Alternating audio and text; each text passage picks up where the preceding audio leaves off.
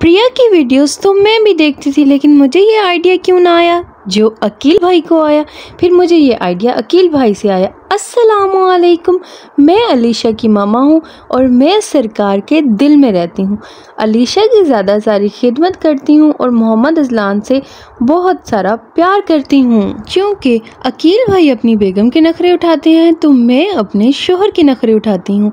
जिस वजह से मैंने सोचा, क्यों ना मैं उनके लिए बनाना और सेब का शेक बनाऊँ। तो उसके लिए ज़्यादा सारी बर्फ़ क्रश कराया और वो शेक में डाला और फिर शेक को अच्छी तरह भमीरियाँ दिलाया और अच्छी तरह बनकर तैयार कर दिया। क्योंकि मियाँ और बीवी दोनों के हकूक़ एक दूसरे पे फ़र्ज़ हैं, इसलिए फिर मैंने शेख को जग में उंडेला, अच्छी तरह से गोते लगवाया और फिर मियाँ साहब को दिया। और मियाँ साहब ने फिर गटके मार के पिया।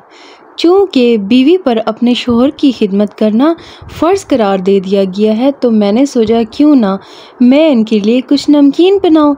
तो इसलिए फिर मैंने जल्दी जल्दी से इनको शेक पिलाया शेक पिलाने के बाद आलू कटाया। आलू कटा के उसको मिसाला लगाया। मिसाला लगा के फिर आयल गरम किया और आयल गरम करने के बाद अच्छी तरह सारे फ्राइज़ को अच्छी तरह गोते दिला के पकाया और फिर मियाँ साहब के सामने हाजिर किया और मियाँ साहब को कहा कि आप बिस्मिल्लाह पढ़ें, क्योंकि मियाँ बीवी एक दूसरे से बहुत मोहब्बत और प्यार करते हैं। हमारे प्यार की वजह से हमारे ख़ानदान वाले हमसे जलते हैं। तो मैंने कहा, बिस्मिल्लाह पढ़ें। तो मियाँ जी ने बिस्मिल्लाह पढ़ी और फ्राई खाया और फिर मेरी बारी आया और मैंने भी बिस्मिल्लाह पढ़ के फ्राई खाया। उम्मीद करती हूँ आप लोगों को हमारी वीडियो पसंद आया होगा। अगर पसंद आया तो लाइक करें, शेयर करें, कमेंट करें, हमें फॉलो करें। अल्लाह हाफिज़।